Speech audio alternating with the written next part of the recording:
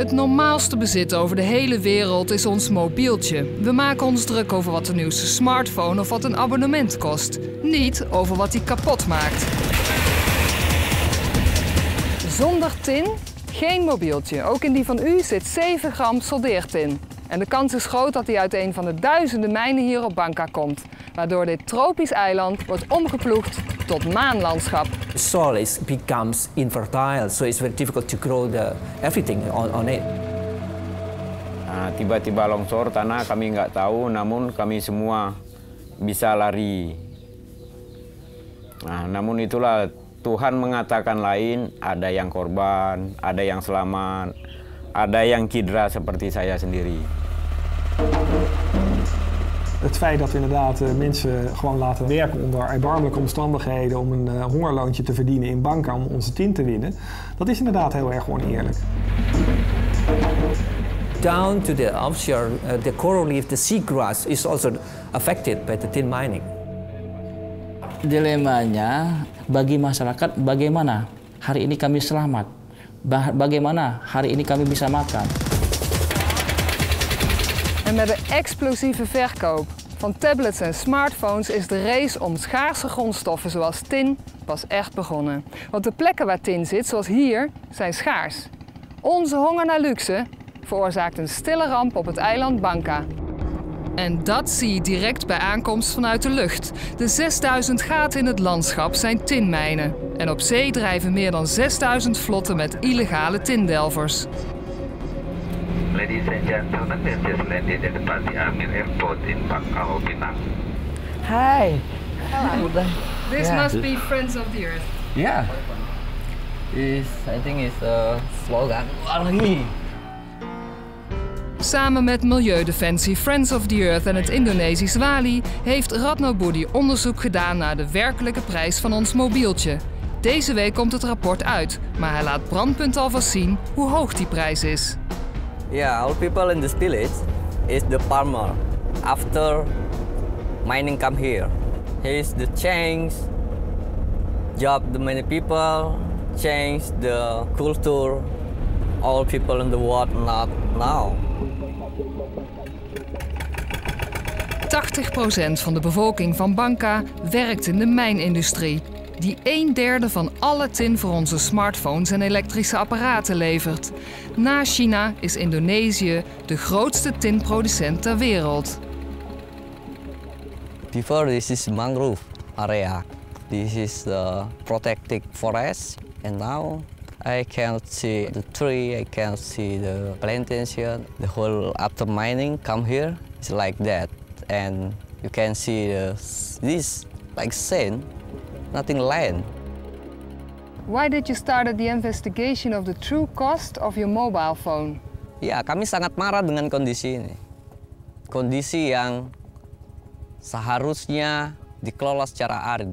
Sumber daya alam itu bisa dimanfaatkan dengan arif dan kami mengharapkan maupun dukungan dari negara-negara yang mengkonsumsi timah dari Bangka Belitung setelah mereka melihat situasi pertambangan, setelah mereka tahu kondisi lingkungan di Bangka Belitung sudah tidak bisa lagi melayani kebutuhan timah di dunia.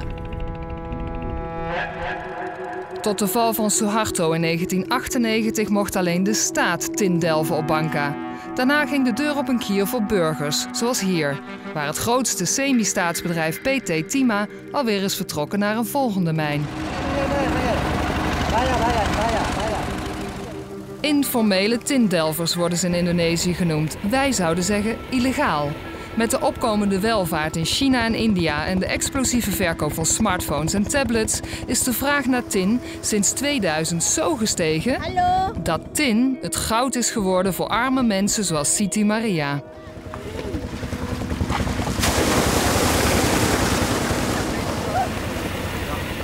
Ini takut dia tak dapat, kita susah. Ini takut kena longsoran, kita mati, meninggal gitu.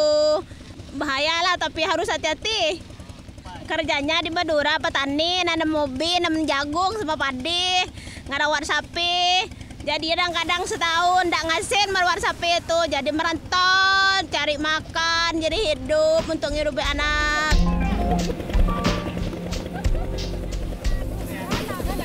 This is tin ore. Ya, Ja? Bagus? bagus yang asli. Bukan Very expensive, hè? Geld dat Maria niet verdient. Zij en de anderen werken voor 2 tot 5 euro per dag voor een landeigenaar die vaak zonder vergunning zijn achtertuin afgraaft. Hij, de levendige tussenhandel, de tinsmelterij en de Indonesische regering verdienen uiteindelijk het geld aan de tin op hun eiland. Lah, susah. Inilah kerja lah setengah mati-matian. Ini setengah nggak cukup, lah cukup masih cukup. Tapi ini masih lagi kekurangan. Hoe lang het eiland deze intensieve tindelving nog volhoudt, vragen we aan bioloog Eddie Nurchaya van de Universiteit van Bangka. harvest time. So like a big harvest. And as soon as possible, then it's finished. The tin mine is polluted, the, the, the water, I mean for the villagers. We can usually people wash and take the water from there. But as the partly of the tin mining is getting polluted, uh, dirtier, they don't uh, complain about that because they get money from, from the tin mining. They ne- never realize about that for the future. Do you know the true cost of your smartphone? Because yeah, just my cheap about 600,000 rupees. Iedereen kan een telefoon aanschaffen en dat doen we massaal. Naar verwachting zijn er in 2017 meer mobieltjes dan mensen. Veelal gemaakt met de soldeertin uit Banka. Deze toren is nog een van de weinige overblijfselen van de koloniale tijd. Dat wij hier als Nederlanders niet alleen de peper, maar ook de allereerste tin vandaan haalden. Toen ging het nog om tinnen borden en tin voor blikjes. Nu zit er naar verhouding meer tin in ons mobieltje dan in een auto. De explosieve vraag naar schaarse grondstoffen veroorzaakt volgens de Nederlandse industrieel-ecoloog René Klein een race om grondstoffen. De metalboom is de periode tussen 2002 en eh, 2008, waarin de vraag naar grondstoffen enorm is gestegen en waarbij ook de prijs van grondstoffen enorm is gestegen. En dat eh, werd eigenlijk veroorzaakt door de enorme groei die er heeft plaatsgevonden in landen als China, India en Brazilië, waar eh, enorm veel steden bij zijn gebouwd en waar mensen veel rijker zijn geworden. En dus de vraag naar iPads, computers en eh, eh, andere spullen zoals koelkasten en auto's enorm is toegenomen. Terug naar Banka, waar sinds een paar jaar de tinwinning op het land terugloopt. Waardoor ook de zeebodem rond dit ooit tropisch paradijs niet langer veilig is.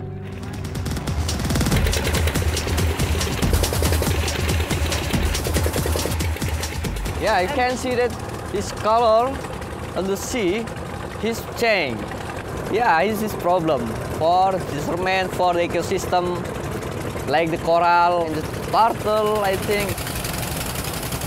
Coral is getting uh, uh, blanketed with the, the, silt, then nutrient cycle. So when the coral uh, died, then also affected with another plankton, so plankton and also fish and also human as well fishermen. It's very difficult to, to catch the fish. Is there less control if it comes to tin mining on sea than on land because it's out of sight? And we don't have any regulation about on, on the sea up up to now.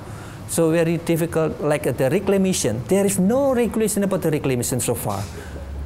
No. Steeds legere netten voor de vissers, geen toerist die hier nog komt en het einde van de schildpad is in zicht. Tot groot verdriet van meneer Tonno.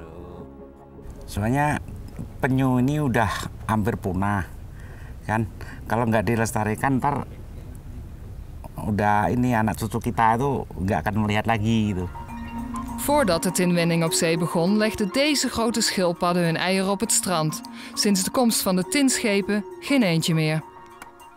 Iya, justru kalau kita nggak ini, nggak apa namanya, kita nggak rawatin anak-anak tukik ini, anak-anak penyu ini, nantinya itu apa namanya, yang kena sedot kapal itu, yang apa namanya, dia nyari makanan sendiri pun sudah Want behalve illegale vlotten liggen er ook nog 83 van dit soort enorme industrieschepen die per uur 100 tot 200 kubieke meter zand opzuigen. En ironisch genoeg is het vier eeuwen later weer een Nederlands schip dat helpt bij de tinwinning op zee. Een door de Indonesiërs opgekocht baggerschip. Tempo hari di daerah Tubali, bukan kita di sini. Daerah Tubali itu barang dua orang satu hari itu mati. Kalau bahayanya banyak sebenarnya. Kalau ketimpa tanah lah, kena geram lah dalam air itu kan terlalu dingin kan. Jadi payah dari daripada kita tidak makan, dari nyari makan lah.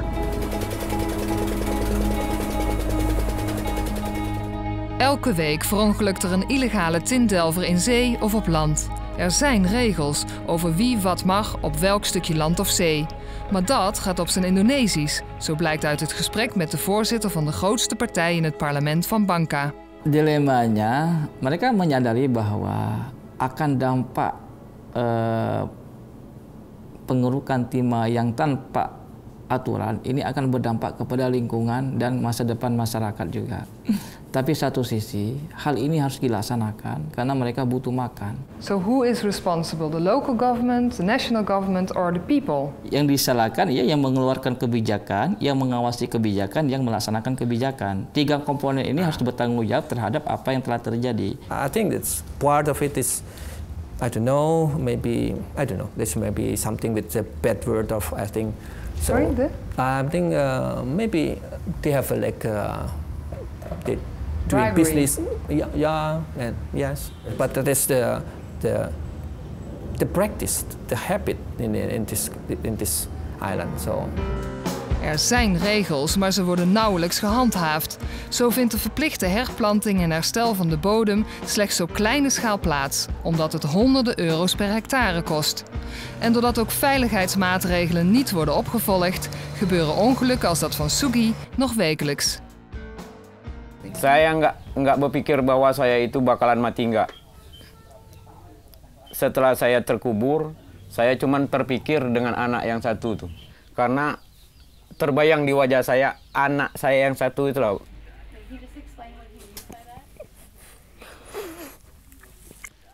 You're willing to take the risk again? Bisa saja, namun masalah tambang tuh boleh dikatakan untuk mencari penghasilan lebih itu lebih cerah. Itulah lah hukum dunia, hukum alam. Hukum alam tidak bisa ki- kita hindari. Kita kan berpikir sebatas kemampuan kita. In the big hole, three people miners died. Yang berhasil selamat. Dan tidak menutup kemungkinan besok sugi-sugi yang lain tidak bisa berhasil selamat. Iedereen die ik spreek, maar ook de nationale minister van Landbouw, geeft toe dat de tinwinning op Banca volledig uit de hand gelopen is. Maar zolang er door iemand iets te verdienen valt, zal er weinig veranderen. Dus vragen internationale milieuorganisaties nu aan elektronica-producenten om druk uit te oefenen. Penting untuk dipikirkan apakah mereka perusahaan-perusahaan elektronik maupun perusahaan-perusahaan otomotif yang membeli, yang mengkonsumsi timah dari Bangka Belitung untuk kembali melanjutkan memakai timah dari kondisi yang sudah tidak mungkin lagi untuk ditambah. We hebben de belangrijkste elektronica-producenten Samsung, Philips en Apple om een reactie gevraagd. Samsung en Philips zeggen zich al jaren in te spannen om dit soort omstandigheden tegen te gaan. Voor Samsung is onze uitzending reden om de situatie op Banca te onderzoeken. Saya pikir mereka harus sadar, paham, dan tahu bahwa handphone canggih yang mereka gunakan itu berasal dari nyawa-nyawa penambang yang tidak bersalah di Bangka Belitung. Mobieltjes, waarvan er elk uur duizend op de afvalberg belanden, met 7 gram duurgewonnen tin uit Banca. Welke grondstoffen er nog meer in uw smartphone zitten, ziet u op onze website, waar we een mobieltje helemaal uit elkaar halen. Waarom wordt tin amper gerecycled? Dat komt eigenlijk omdat eh, het nieuwe tin, wat zo uit de mijnen wordt gewonnen, eigenlijk eh, zo goedkoop is dat het niet interessant is om dat, eh, om dat te doen. Wat, wat kunnen we doen met al die mobieltjes en smartphones die ergens in een la liggen bij mensen thuis? Ja, dan moet je ervoor zorgen dat er ook weer een, een prikkel is zeg maar, voor mensen om die uit te laten halen en ergens in te leveren. Dat kan zijn doordat je zegt van nou het is voor een goed doel. Hè, en misschien moet je zelfs wel toe naar een systeem waarbij je helemaal niet meer de eigenaar bent van dat, van dat mobieltje. Leasen. Ja, dan ga, je inderdaad, eh, dan ga je inderdaad naar leasen toe. En leasen kan ervoor zorgen dat, eh, eh, dat bedrijven ook veel meer gaan nadenken over het productontwerp. Want als je die producten wilt gaan recyclen, loop je vaak tegen problemen aan dat die producten zo zijn ontworpen dat je eigenlijk nauwelijks die producten kan recyclen omdat je de, de, de onderdeeltjes er niet uit kan halen. Dan kami minta agar masyarakat seluruh dunia sekalipun agar tidak membeli handphone lebih dari satu, hanya cukup satu.